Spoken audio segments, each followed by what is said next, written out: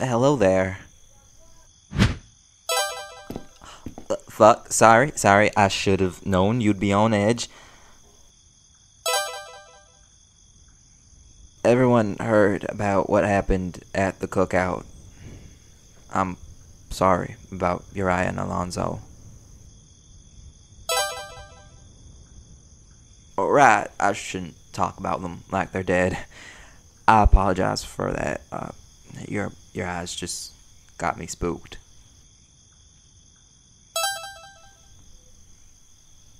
I haven't met a lot of vampires before, so seeing them like that was a, a surprise.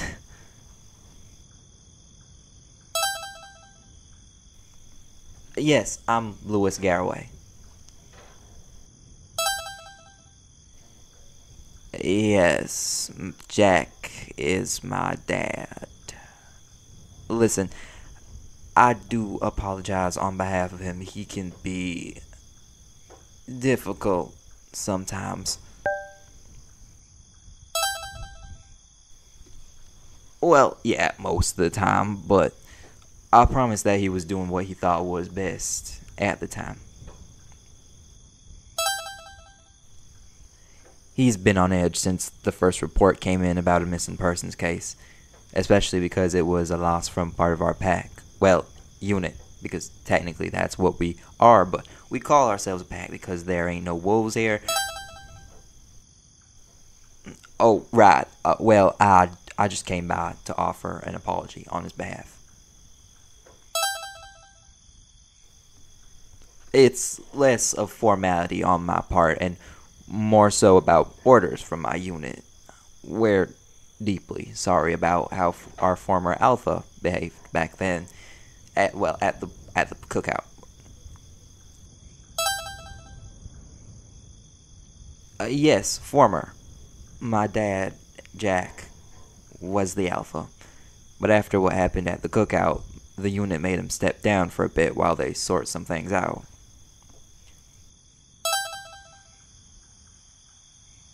Our unit takes public appearances seriously. As our alpha, my dad was supposed to represent us fairly, and knowing that he not only acted untowardly before he was trans, but also fell into one so easily, the rest of the unit weren't too happy.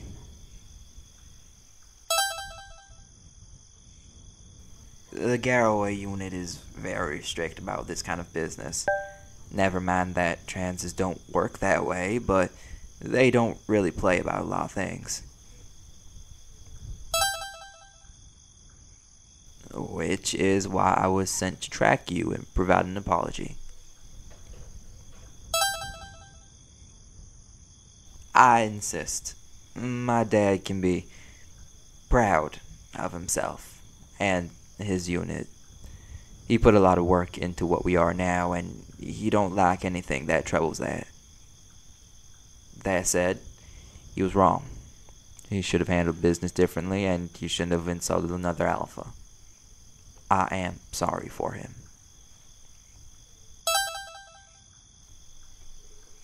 Also, after the pack heard about who your guest was, I was told to send my regards to them as well.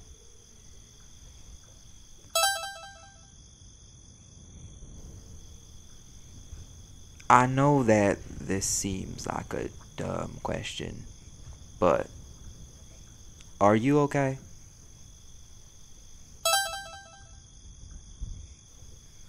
Well, I know you're not. You've lost your spouse and your boyfriend in one day, and you're probably worried about and panicked or scared because you don't know what's happened to him. Right, sorry, it's a habit.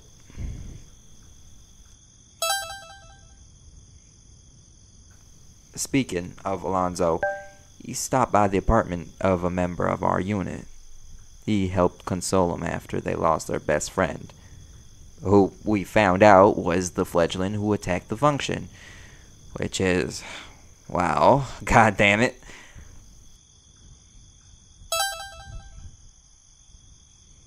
Sorry, but we do appreciate what he did. They seemed louder afterwards, and we were all glad to see it.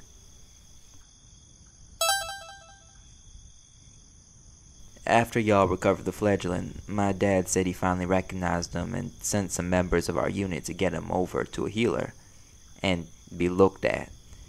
And we now have a few of our own watching over them in the meantime.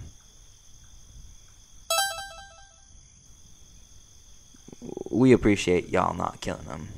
The doc said that with some feeding and a few hours worth of intensive magical treatment, they'll be able to counteract the bloodlust they built up.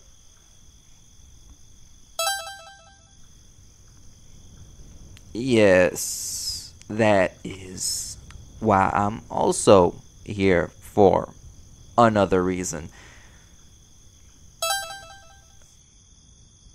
To help. Uriah has done a lot for our unit. Their business with my dad helped feed folks, and she also helped with our unit's housing. We don't forget kindness like that. Or at least I don't.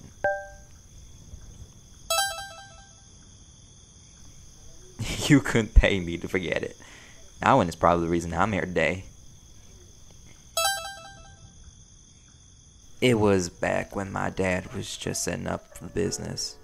We were all pretty much dirt poor. People weren't interested in swamp, so he was hardly getting business.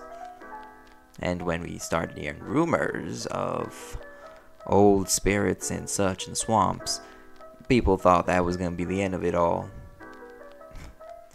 Turned out that Uriah was the one who sort of started the rumors.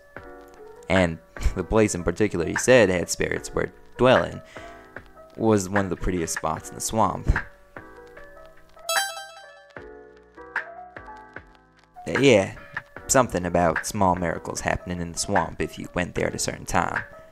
They suckered a lot of people into visiting during the tourist season, and people came flooding in because of those rumors. Couples, explorers, obsessives, and all those high-end influencer folks.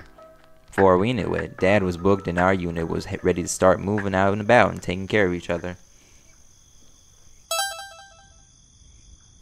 Yeah, Uriah did that. And as the current alpha, I'm looking to repay their kindness now however I can. Well, interim alpha, until the unit decides otherwise, but pretty much an alpha. Well, I'm I'm filling in for the position for now, but just never just never mind. Just know that you got a whole unit backing you. Of course. Despite my dad's act, he admires Uriah and everything they've done. He sucks at showing it, but our unit will make up for that tonight in whatever way we can. there's a reason people don't go around pissing off a pack of dogs. And the unit is pretty fucking pissed. We'll avenge the dead. It won't be easy getting it all back to normal, especially later, but we all can agree that we want the Bouchards dead.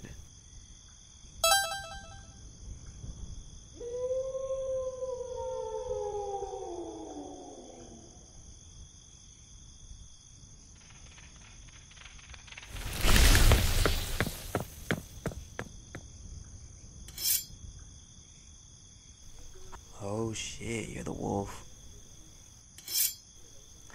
Sorry, that was rude of me. Um, I'm Lewis Garroway. On behalf of the Garroway unit, I want to extend our deepest apologies for. We really are sorry for what happened with Jack. It it never should have happened, and. Alright. I'm sorry for saying sorry that much. I'm the interim alpha of the unit. I came here to lend support and find the Bouchards. You know where they are?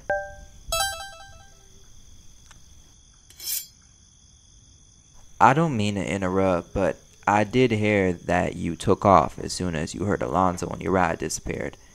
It was hard to even get a scent off you, so you kinda are to blame for that, not the wolf. Right? Sorry for that.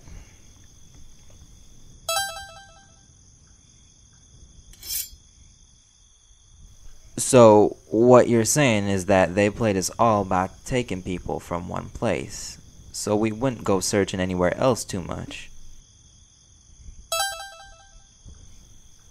Sneaky fucking bastards. Right, uh, I can take a few people with me and go investigate the location you have, while some other folks search the rest of the areas.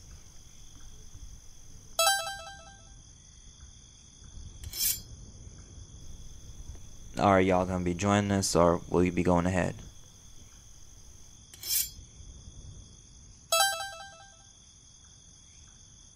Alright then.